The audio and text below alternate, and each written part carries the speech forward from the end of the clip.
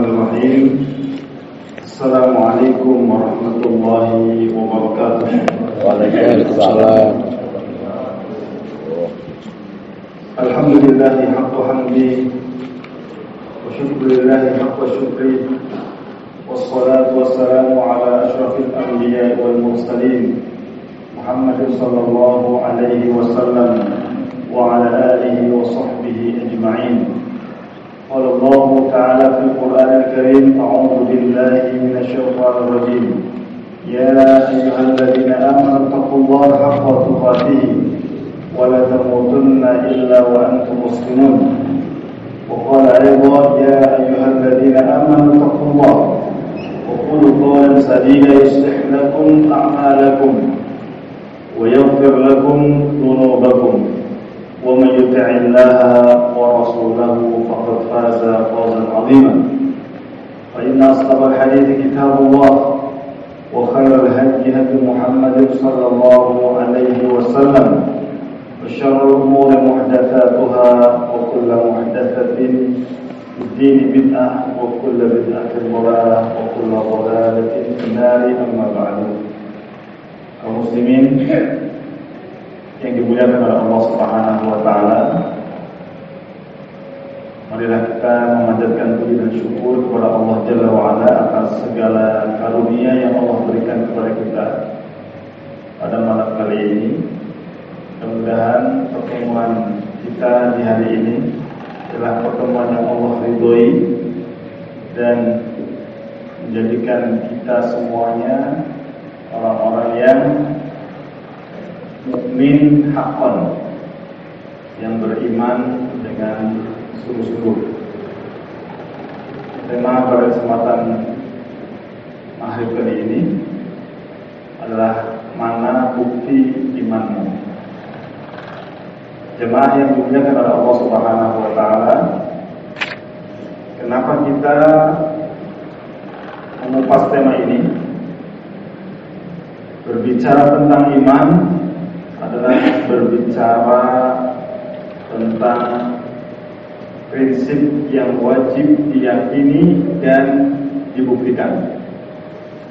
Ketika kita berbicara iman, maka para ulama menjelaskan ada tiga dimensi.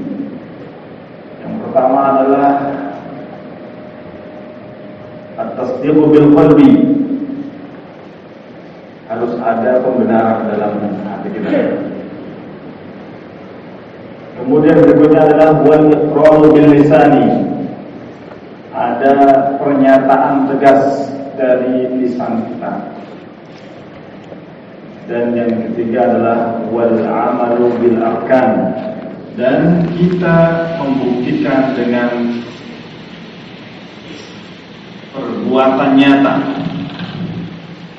Jadi tidak mungkin orang mukmin hakon beriman secara sungguh-sungguh namun dia hatinya tidak iman. Tidak membenarkan Al-Quran tidak membenarkan apa yang dibawa oleh Rasulullah Sallallahu Alaihi Wasallam.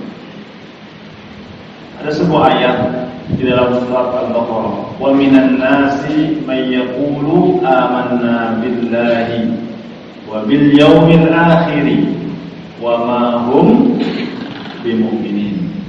يخادعون الله والذين آمنوا وما يخدعون إلا أنفسهم وما يشعرون. Dari sekian miliar manusia Allah mengeluarkan Allah mengelompokkan. Mereka-mereka yang beriman tapi dengan lisannya kami beriman kepada Allah dan kami beriman kepada hari akhir. Tapi kata Allah, wa ma hum. Namun sesungguhnya mereka bukan orang yang beriman. Yukhadimun Allah, mereka berpura-pura, mereka hendak menipu Allah dan juga mereka berpura-pura hendak menipu orang-orang beriman namun sesungguhnya mereka itu menipu diri mereka sendiri Tapi mereka tidak menyadari Dan mudah-mudahan kita tidak tergolong orang yang kategorinya seperti ini. Bapak dan Ibu yang dirahmati Allah Subhanahu wa taala, maka kita ingin menyebutkan apa sih ciri, apa sih bukti orang itu dikatakan beriman. Kita mengambil berdasarkan hadis dan ayat yang kita temukan dari Al-Quran ataupun Sunnah. Meskipun sebenarnya pembahasan masalah aliman juga dikupas dalam surat Al-Baqarah, dikupas juga dalam surat Al-Anfal, dan dikupas juga dalam surat Al-Mu'minun. Tinggal kita mau bedah yang mana. Tapi pada kesempatan kali ini kita kajiannya adalah tematik sehingga nanti akan mengakomodir dari ayat-ayat yang insya Allah kita akan kupas. Yang pertama adalah orang dikatakan beriman apabila memiliki ar-ridha amma qaddarahullah. Dia memiliki sikap ridho menerima segala keputusan Allah. Sekarang dunia Islam sedang fokus kepada kejadian peristiwa yang ada di Palestina. Kurang lebih 6.000 bom dijatuhkan Israel di Gaza. 6.000 dalam waktu lima hari. Kita bisa bayangkan bagaimana pemukiman hancur, pasar hancur, manusia meninggal, harta benda rusak dan seterusnya. 6.000 bom dijatuhkan. Dan kami juga dapat beberapa video. Ternyata mereka orang-orang Palestina adalah orang-orang yang mukmin tahan banting kalau boleh kami sebutkan. Kalau masalah duit, kalau masalah harta bisa saya cari.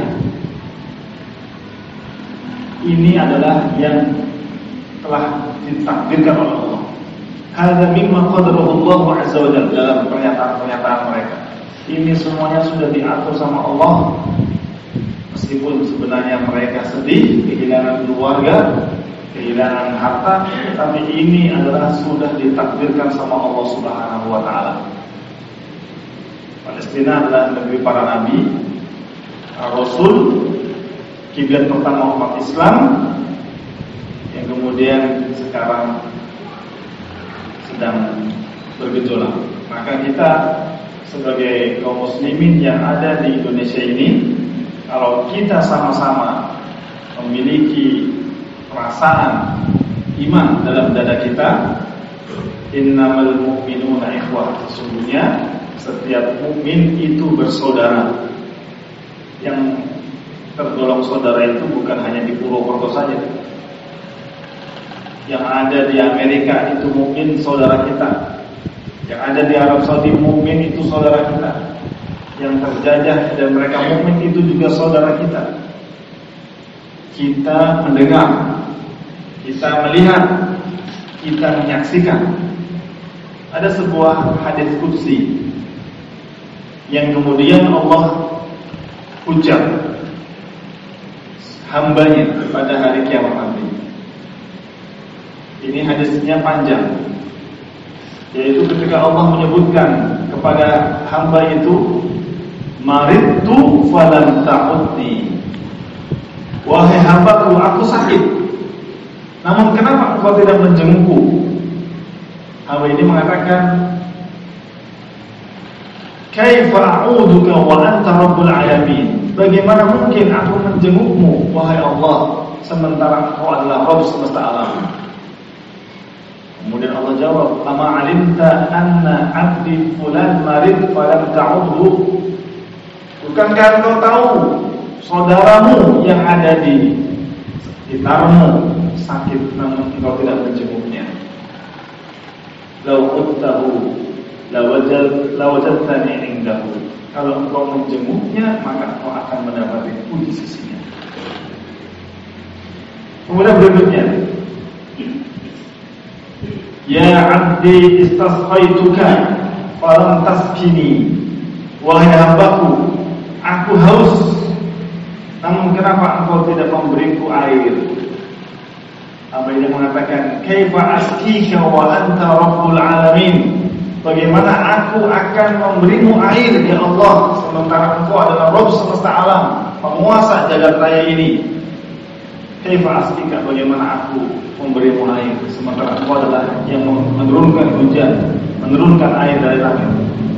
Kemudian Allah mengatakan, "Ama alimta anna 'abdi fulan yastasqika falam tasqihi?" Bukankah engkau tahu hambamu, hambaku, saudaramu meminta bantuan air tapi engkau tidak memberikan. Yang terjadi di bumi Palestina itu bukan sekedar kelaparan, bukan sekedar kehausan, rumah dijarah, tanah dirampas, nyawa berguguran. Sementara, mohon maaf, kita masih diam-diam saja, tidak berdoa, tidak memohon kepada Allah, tidak memiliki kepedulian, ini jangan-jangan dikhawatirkan seperti yang disampaikan oleh Rasulullah man lam yahtam bi amril mu'minina falaysa minhum. Orang yang tidak memperhatikan orang yang tidak memperhatikan urusan kaum muslimin kaum mukminin dikhawatirkan bukan dari golongan. Maka Islam mengajarkan kepada kita tentang solidaritas. Tadi ya ayat-ayat yang sudah kita baca, sudah kita pelajari, sudah kita hafalkan. Al-Quran menyebutkan A'udzubillahi minasyaitonir rajim Alladzina yu'minuna bil ghaibi wa yuqimuna as-salata wa mimma razaqnahum sudah bahas ini. Orang beriman adalah orang yang yakin dengan hal-hal yang gaib. Kemudian mereka menegakkan salat Hal-hal yang lain kesalehan pribadi. Menegakkan sholat kesalehan pribadi. Wa mimma razaqnahum yunfiqun membelanjakan harta kesalehan sosial. Ya, jadi ini perlu kita gabungkan. Bapak dan Ibu yang dirahmati Allah Subhanahu wa taala, jadi bukti pertama iman seseorang adalah ar-ridho amma qaddarahullah. Menerima ridho apa pun keputusan Allah. Ketika keputusan Allah nikmat sesuai dengan keinginan kita, kita bersyukur.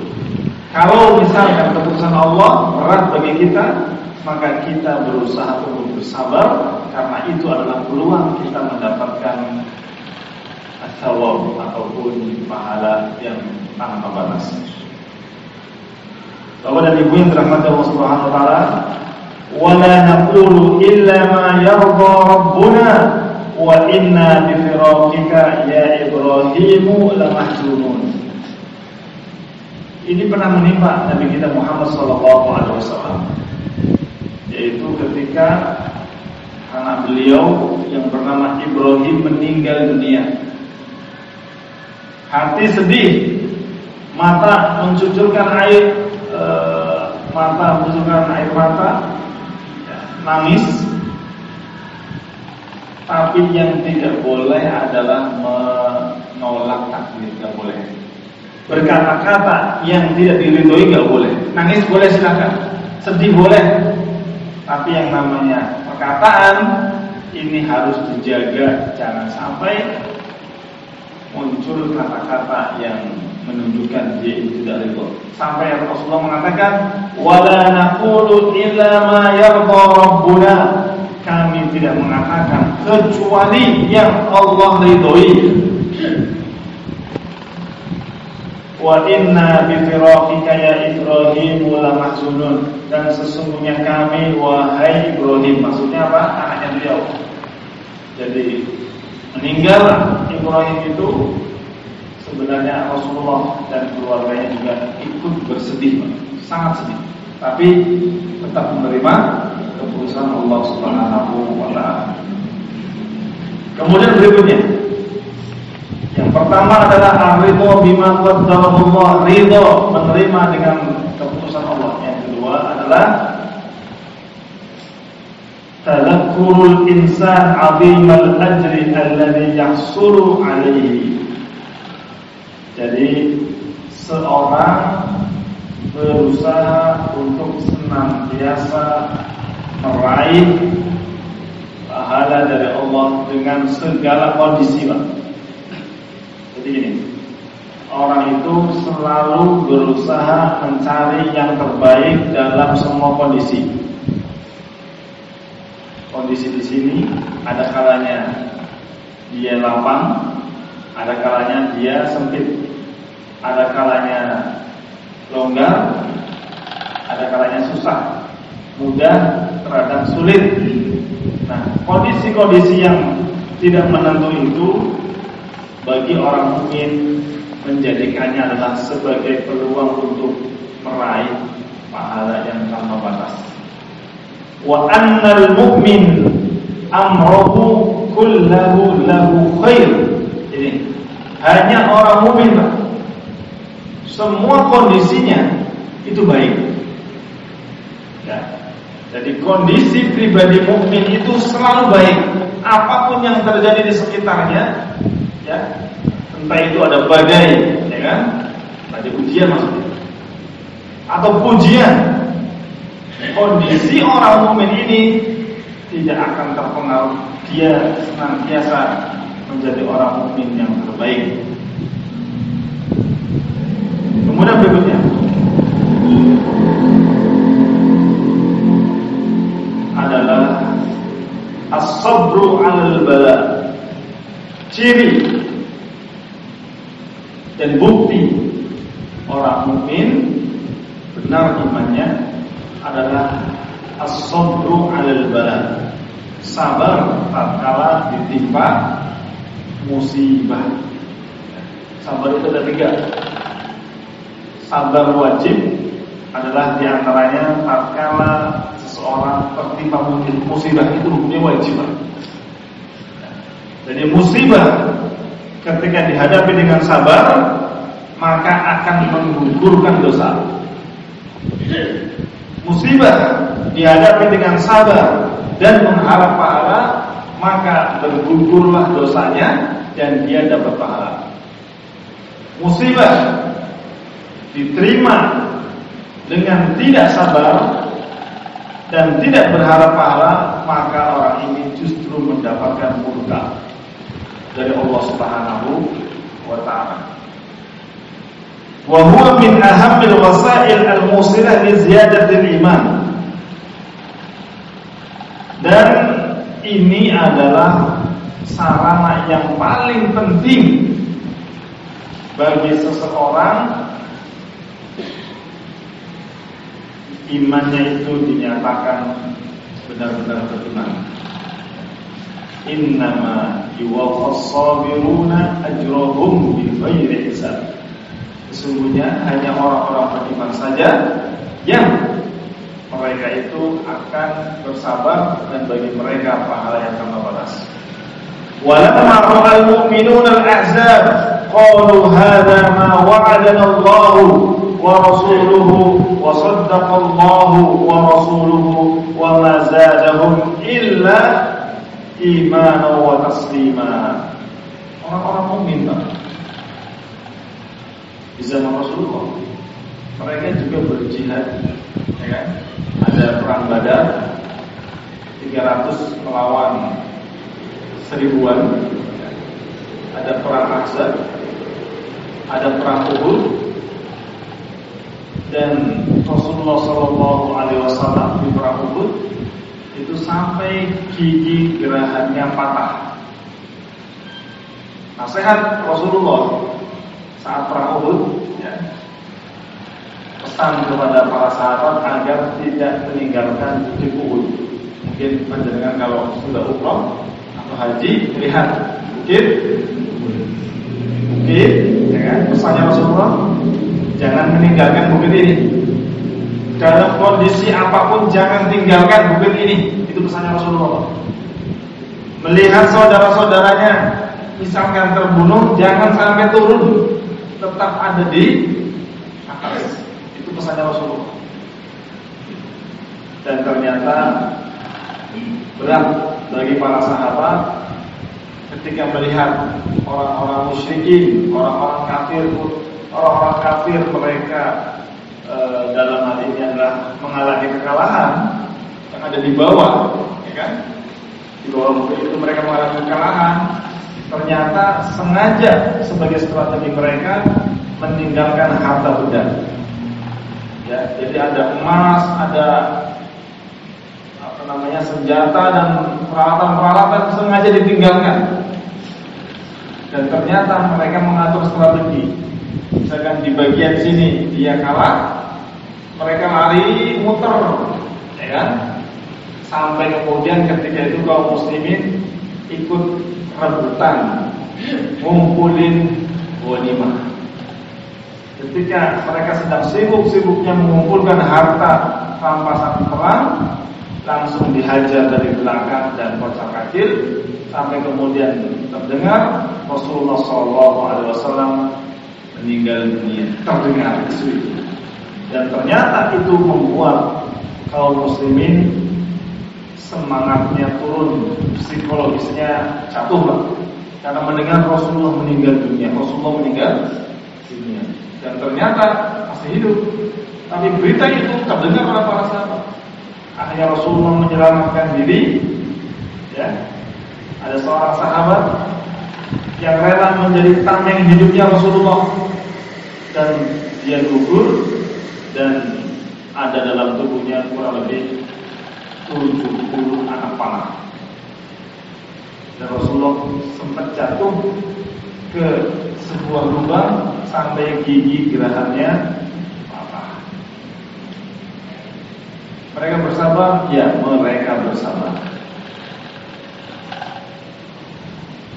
itu as-sabru 'alal bala, sabar dalam kondisi berat menerima ujian.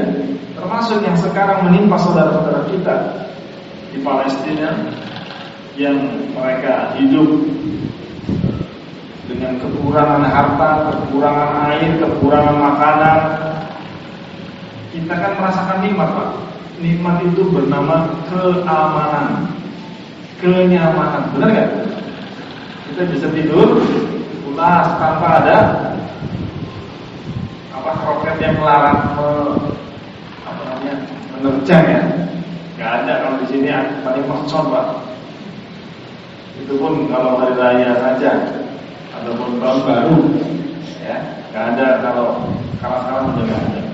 Kalau mereka bisa saja sekarang kumpul besok sudah di antara mereka ada yang syahid, ada yang kemudian gugur dan seterusnya dan seterusnya.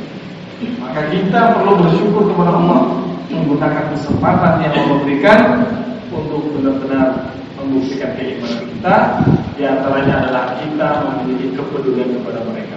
Seperti tadi, ketika Allah menghujat hambanya yang tidak peduli, yang acuh ya, kepada saudara-saudara yang tergolimi, maka itu tanda tanya besar terkait dengan imannya. Mereka saudara-saudara kita. Mereka berpikir, mereka menjaga anak aqsa melaksanakan ibadah-ibadah yang Allah wajibkan dan kemudian juga dirahmati Allah Subhanahu wa taala. Kemudian berikutnya adalah bukti orang itu imannya ada adalah qaulul khairi wal bu'du 'anil. Perkataannya baik.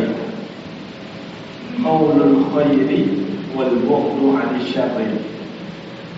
Kalau dia harus ngomong, ngomongnya yang baik. Omongannya terjaga.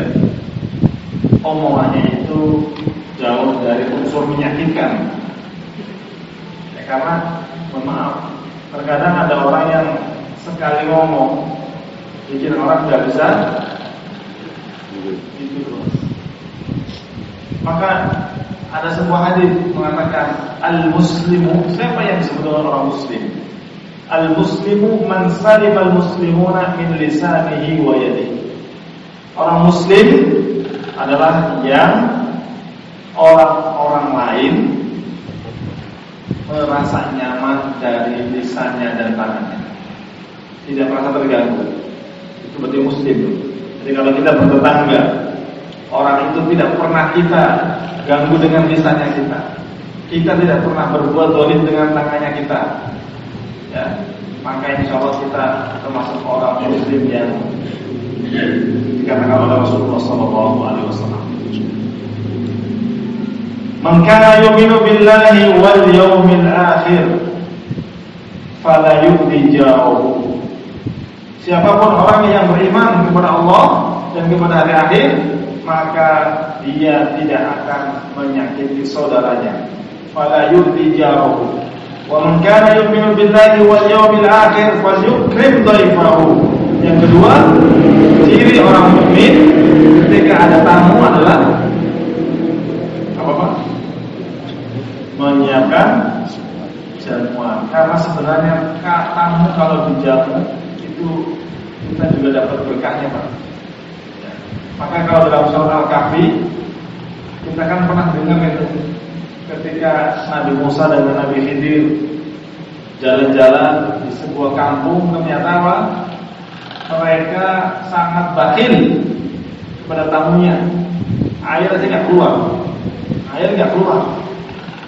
Kemudian ada inisiatif dari Musa bagaimana ini ada rumah yang hampir roboh kita betulkan saja.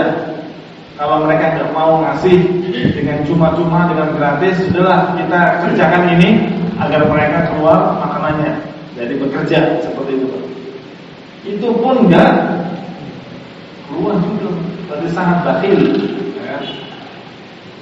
Kemudian uh, uh, Musa dengan Khidir akhirnya membetulkan tembok milik dua anak yatim dan ternyata Allah menyimpan untuk anak yatim ini harta warisan dari ayahnya karena orang tuanya adalah soleh wa kana abuhuma shalihan.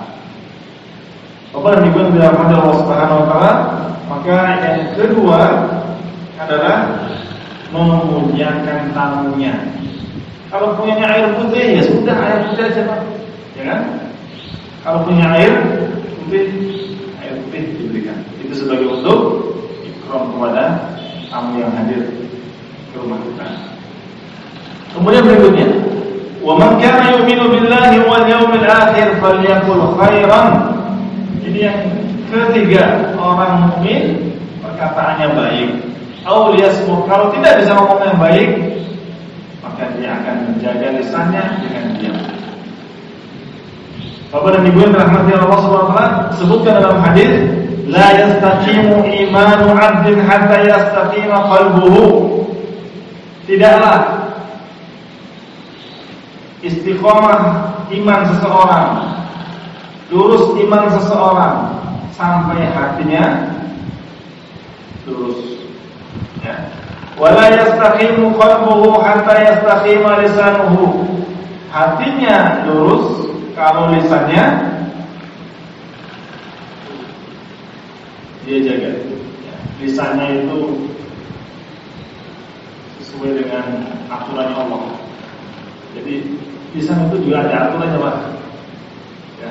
Bukan kita berkendaraan saja ada aturan, ngomong juga ada aturan. Sampai kemudian muncul apa? Undang-undang UU ITE ya, ya kan? Yang kalau misalkan menyebarkan berita hoax, fitnah itu ada apa? Ada konsekuensinya, ada sanksinya. Nah, ini juga ada dalam agama kita berbicara juga tidak boleh sembarangan. Karena itu menunjukkan apa? Menunjukkan imannya, menunjukkan isi hatinya. Wala yadkhulul jannah rajulun la ya'manu jaruhu bawa'iqahu dan tidak masuk surga seseorang yang tetangganya itu terganggu karena lisannya Pak. Ya maka betul yang disampaikan oleh Rasulullah dalam hadis yang lain bahwasanya orang yang bangkrut adalah yang ini kata Rasulullah Innal muflisa min ummati man ya'ti yawmal qiyamati bi sholatin wa siyamin wa zakat. Dia sholat, dia bayar zakat, dia puasa seperti kita. Tapi ternyata apa?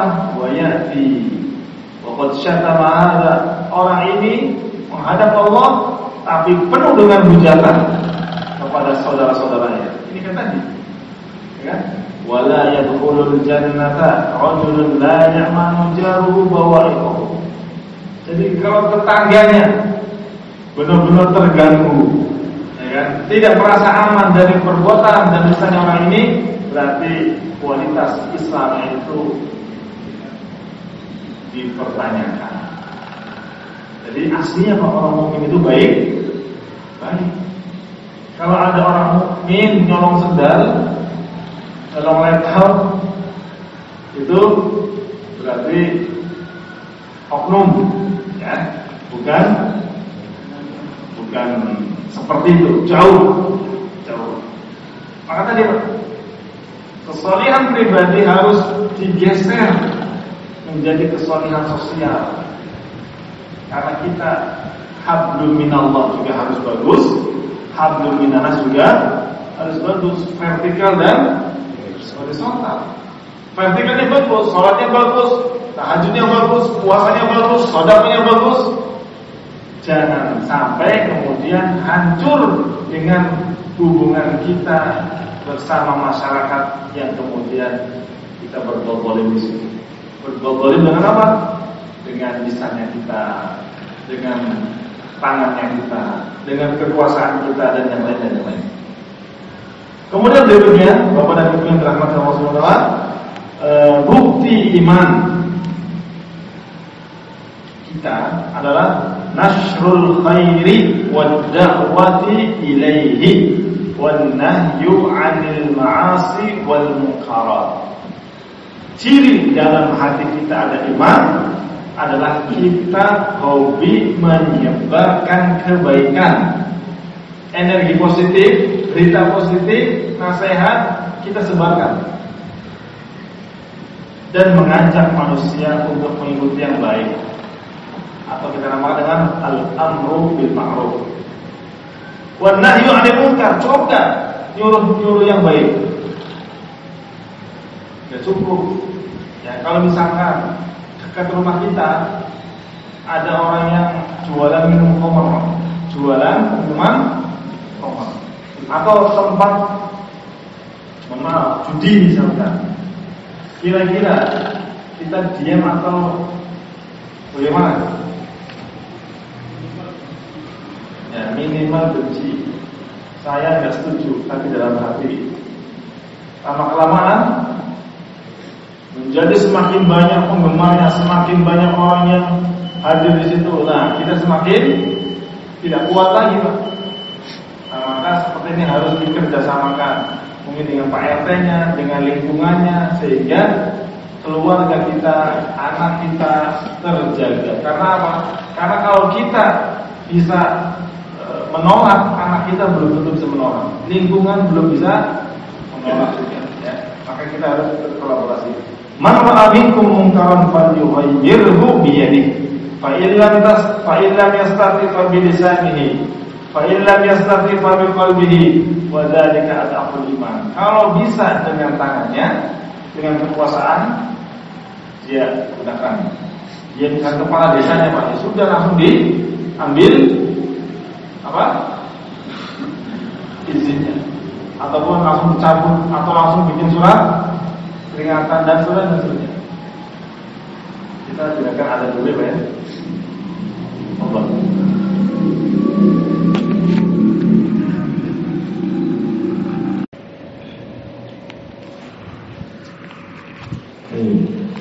Uh, sebelum saya lanjutkan, barangkali ada yang ditanyakan silakan. Ini bertanya Ustaz terkait dengan uh, membuktikan iman dalam kesolehan pribadi. Membuktikan iman dalam kesolehan pribadi Ustaz. Nah itu kan kita ada sholat ya Ustaz, salah satunya. Jadi bagi kita dan saudara muslim lain kan kadang berbeda-beda Ustaz. Ada yang prefer nanti menyesuaikan waktu sholatnya. Nah, jadi sudah termasuk lalai jatuhnya karena tidak ada ujur yang mendukung mereka uh, menunda-nunda sholat. Jadi mohon diingatkan kembali saat tafsir yang di surah Al-Maun tentang orang yang menunda-nunda sholat dan apakah mereka ini tergolong orang-orang yang tidak membuktikan iman mereka dengan baik. Terima kasih. Baik. Terkait dengan tafsir surat Al-Maun.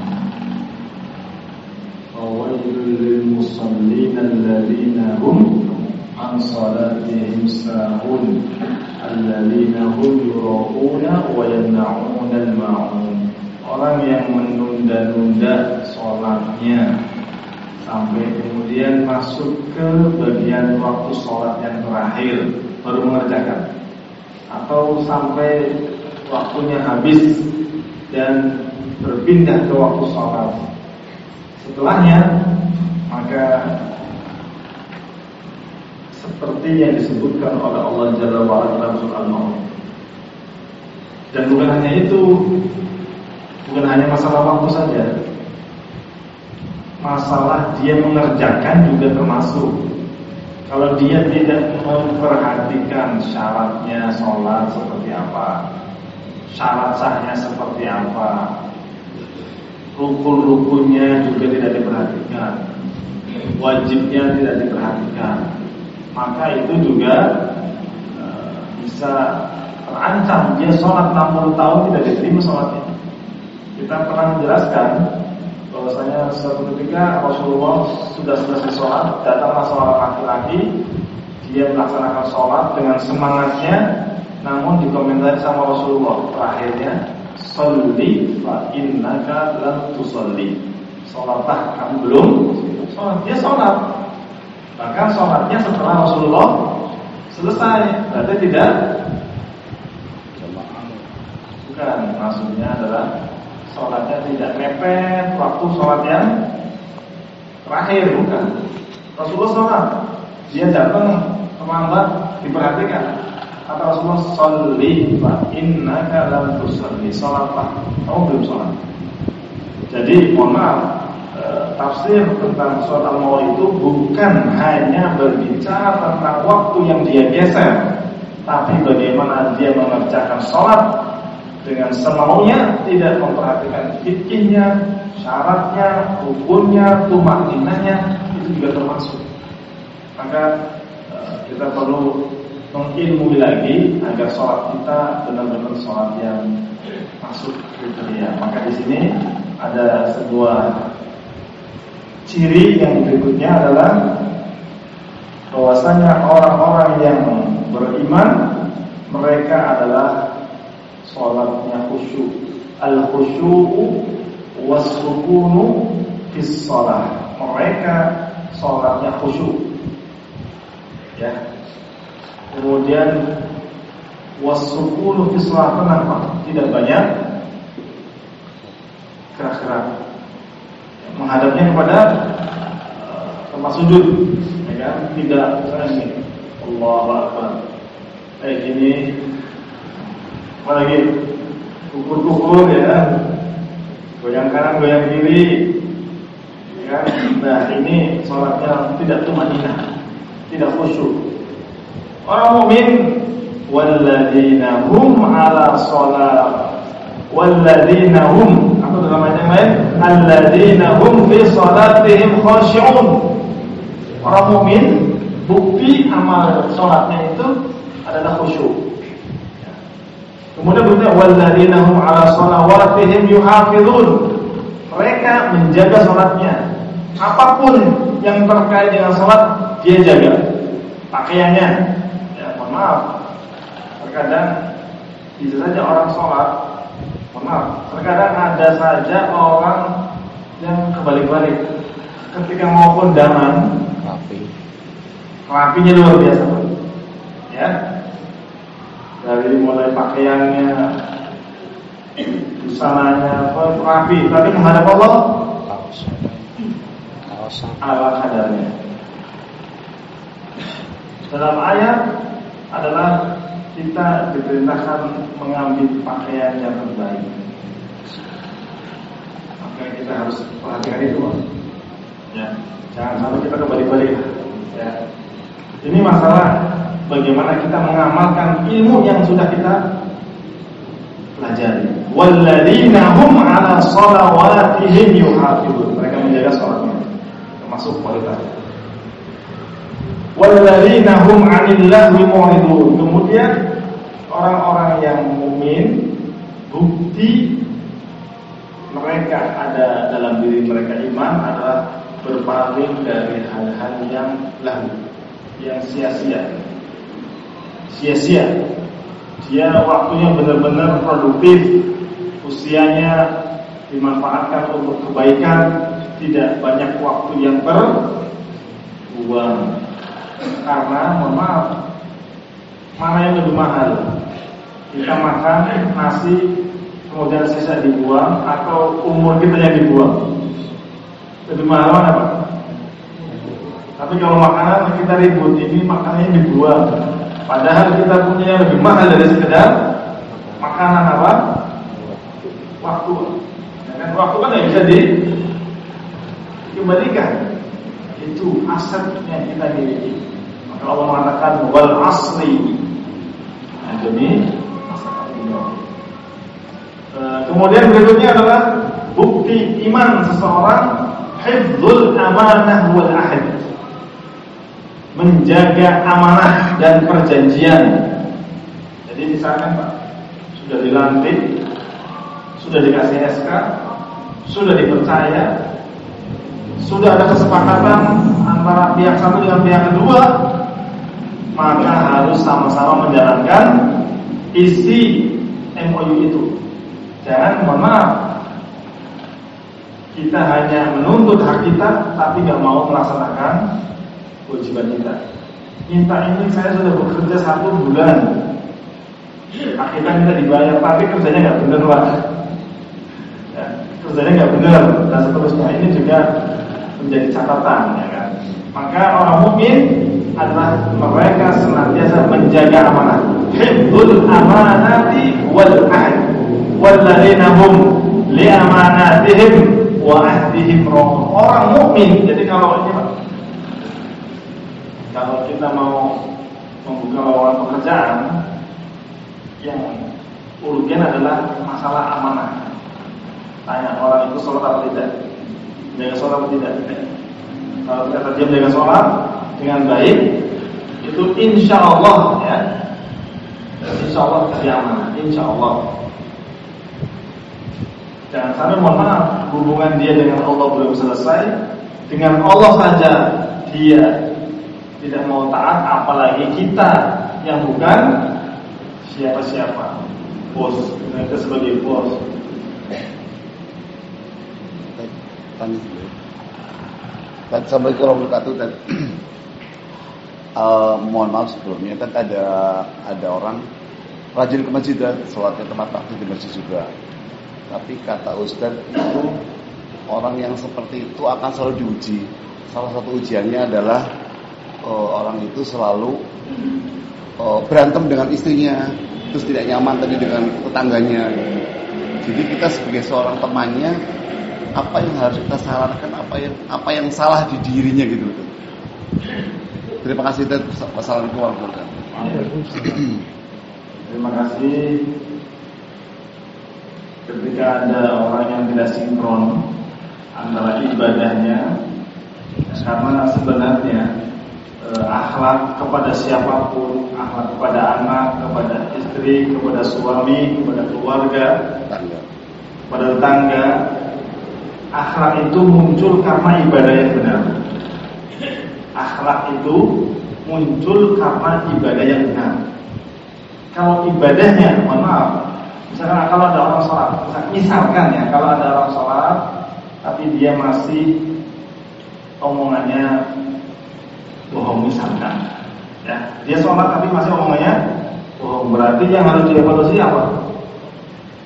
Sholatnya orang itu kira-kira eh, ditunaikannya karena Allah atau tidak, atau berangkat dari ilmu atau tidak, atau dari niat yang benar atau tidak?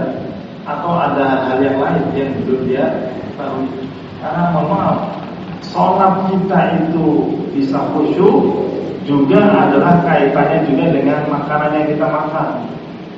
Kalau kita makanannya adalah yang haram, makanannya yang syubhat, makanan yang gak jelas, kok kita berharap kesolihan dalam diri kita? Ibadah yang khusyuk sangat jauh. Sangat jauh.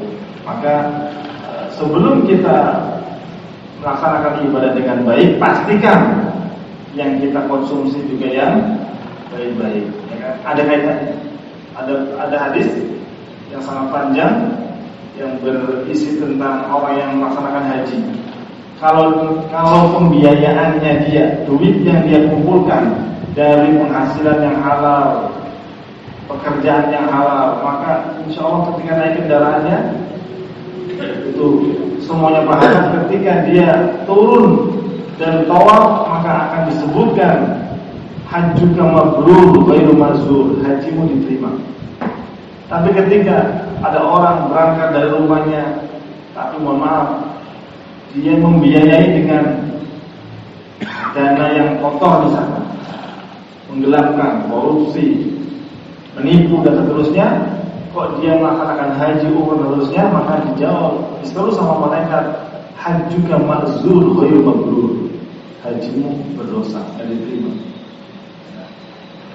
Begitu dari kami intinya perlu kita evaluasi ketika ada ibadah yang ditunaikan kok ternyata masih belum sinkron dengan yang di luar karena yang dimaksud dengan ibadah ini bukan hanya hablum minallah saja, tapi hablum minanas juga menjadi satu kesatuan Allah karena sudah masuk waktu sholat isya eh, kita cukupkan.